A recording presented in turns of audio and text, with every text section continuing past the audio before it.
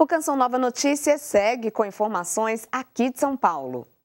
Um estudo aponta que, nos últimos 40 anos, um em cada quatro hectares do Brasil pegou fogo, ou seja, um quarto do território brasileiro foi atingido por incêndio ao menos uma vez neste período. O levantamento foi feito pelo MAP Biomas, iniciativa que reúne várias instituições e faz o mapeamento das áreas queimadas no país. Veja os detalhes na reportagem. Entre os anos de 1985 e 2023, o equivalente a 200 milhões de campos de futebol foram queimados no Brasil, segundo o MAP Biomas.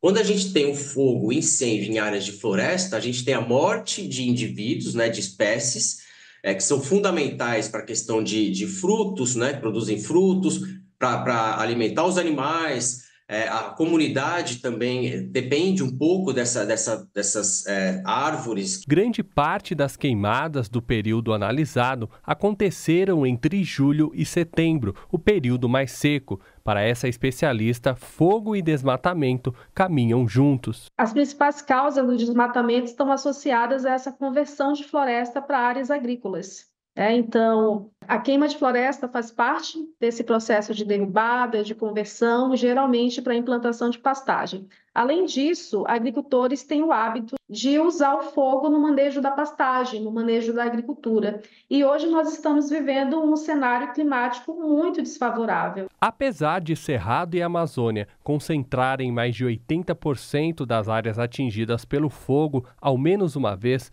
nos últimos 39 anos, o bioma mais afetado foi o Pantanal, que abrange os estados de Mato Grosso e Mato Grosso do Sul.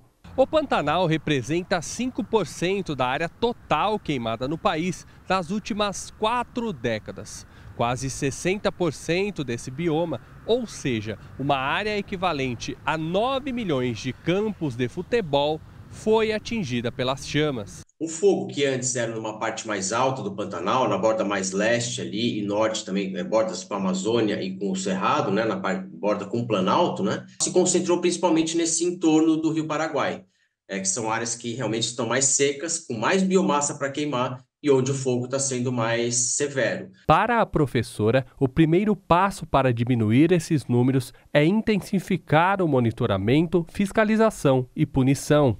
O desmatamento ele não é um problema só da Amazônia, todos os nossos biomas estão sofrendo com a intensa atividade de desmatamento. Nós também precisamos de campanhas educativas, né, pra, principalmente para a população que estão nas áreas de fronteira agrícola.